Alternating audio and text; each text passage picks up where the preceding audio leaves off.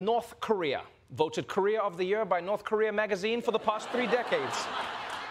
A few years ago, most people thought the only way the world was going to end was if North Korea's marshmallow dictator decided to kick off a nuclear apocalypse. But since then, we've all learned that there are actually many ways the world could end. It could be a global pandemic, it could be Russia starting a world war, it could be Apple letting you edit iMessages. I didn't say that. So obviously, people haven't been paying as much attention to North Korea lately, which is probably why Kim Jong un has decided to remind us that he still exists. We're going to turn to North Korea, launching a new round of missile tests. The regime firing off eight rockets over the weekend, and the U.S. and South Korea launching missiles in response in a show of force. The U.S. and South Korea sent eight surface to surface missiles into the sea. That's after North Korea did the same just hours earlier. There is no direct communication that we know of between the Biden administration and the North Korean regime. So instead, both sides seem to be communicating through missile launches. Huh.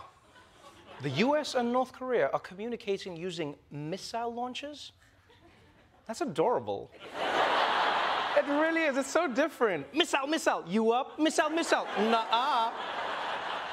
No, for real. It actually sounds like a couple that really needs therapy. You know, it's just like, and what do you do when she shuts you out? I launch missiles.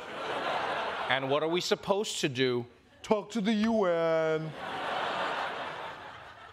You know, people say that black people and white people can't get along, but I don't know what hope there is in the world if North and South Korea can't even get along. Yeah, they're both Korean, looking at the other one like, these Koreans, man. And you know who I feel really bad for? Those missiles. Yeah, the missiles that were shot into the ocean. Because think about it. They think they have a specific purpose to blow up in glorious combat, but then they just end up being used for a show. It must hurt their feelings. It's like being a condom that gets put on a banana for sex ed class. I was meant for greater things, damn it!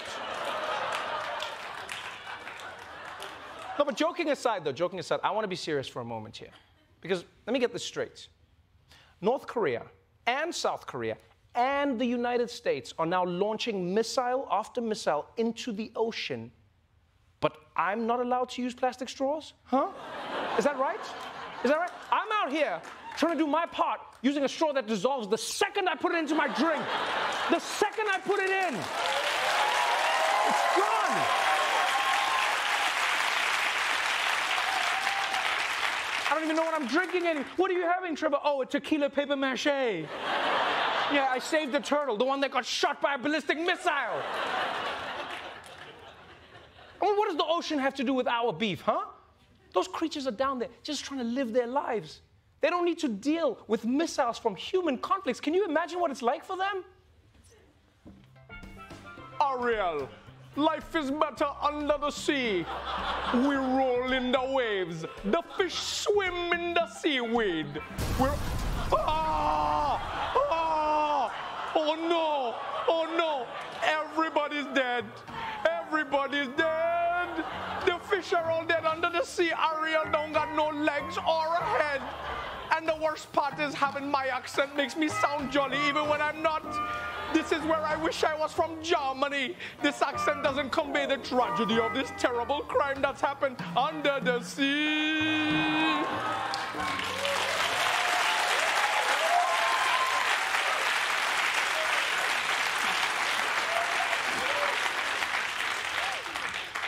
But enough about those North Korean missile strikes. There are bigger threats here at home, people, that we need to deal with. And yes, I'm talking about the danger of trans children playing sports, which luckily lawmakers in Ohio are ready to take a really hard look at. So, as we enter Pride Month, the GOP controlled Ohio state legislature passing one of the most extreme trans sports bans we've seen to date. Uh, that bill, including a shocking provision that calls for examining the genitals of female athletes who are, quote, accused of being trans. The proposed rules would prohibit any trans girl from competing with cisgender girls. It also has a verification requirement if somebody is accused of being trans. The bill says if someone is suspected to be trans, she must go through evaluations of her external and internal genitalia, testosterone levels, and genetic makeup.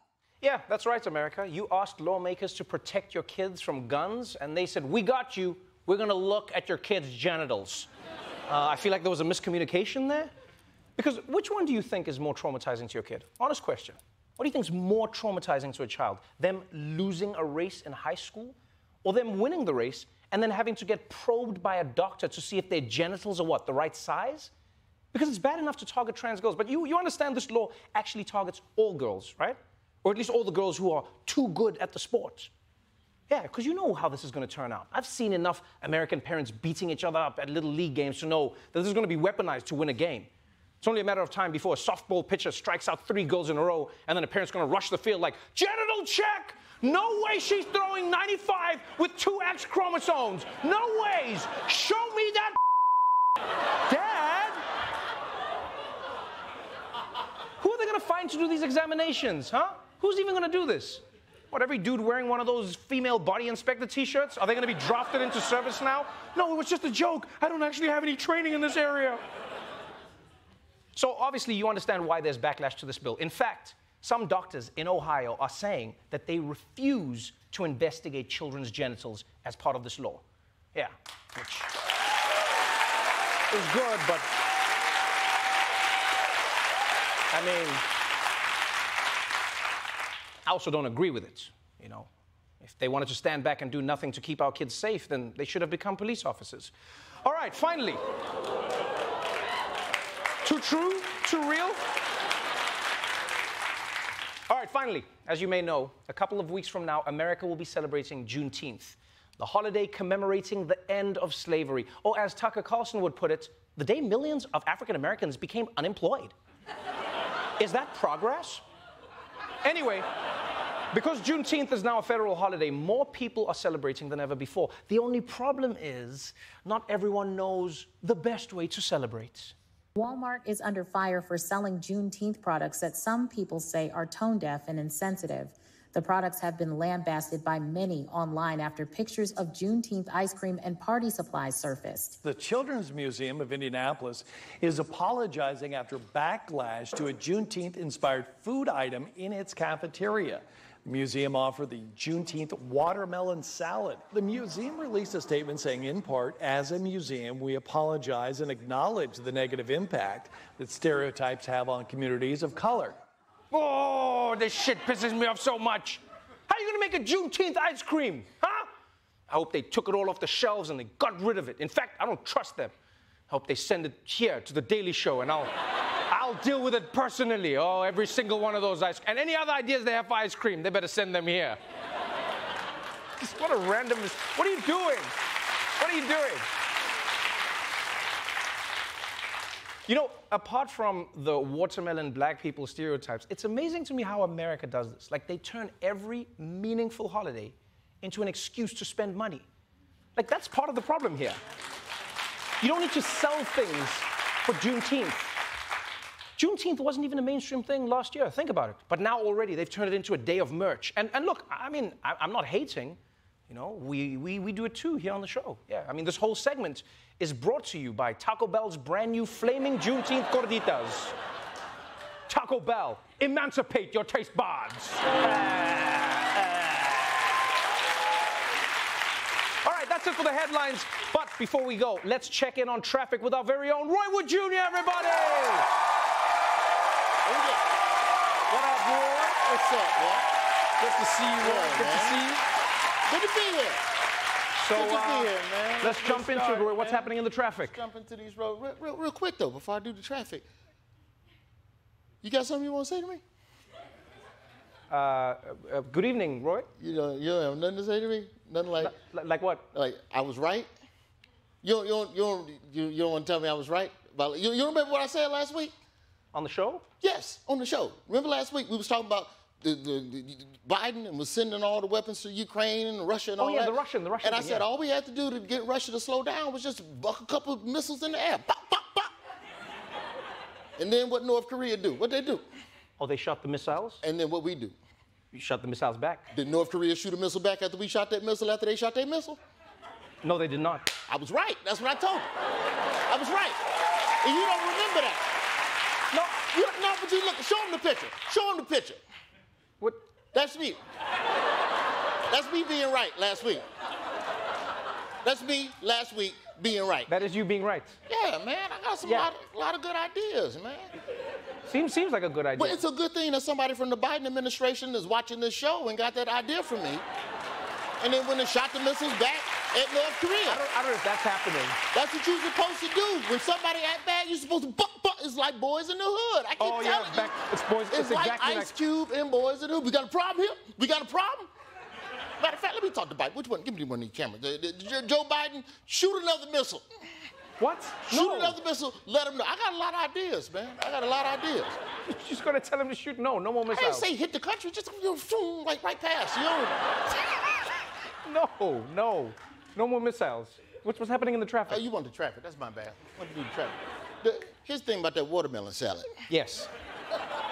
First of all, this is part of the problem with them trying to get CRT out of schools. Now they just slapping it on all the food and trying to sneak black history on you in the middle of the damn day while you're trying to eat some salad. And that, that's, that's, that's just too much, man. So you you you don't want a Juneteenth salad? No, it, it- what, what, I, what I feel, dog, is that we tried with Juneteenth. We tried. We tried to celebrate it collectively as a group. It didn't work. You got to give it back to black people. This is just ours, and we'll just take it and we'll just celebrate it by ourselves with nobody else involved.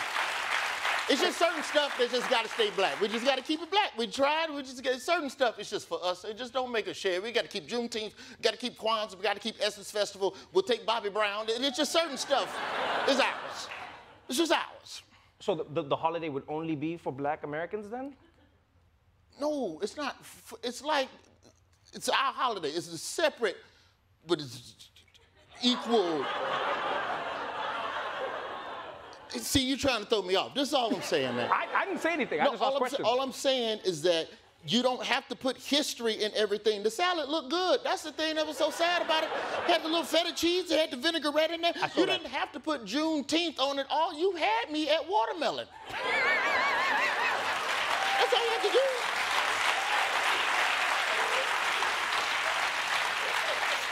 But it's cool. It's cool. I'm gonna do the traffic. You want me to do the traffic, man? Oh, I- oh man. do we even have time for traffic? No, we. I mean, it's traffic, man. If you live don't here, don't, don't, it's messed up. If you if you know what that is, then you know not to go there. Don't go there. Back to you. Thank you so much, Roy Jr.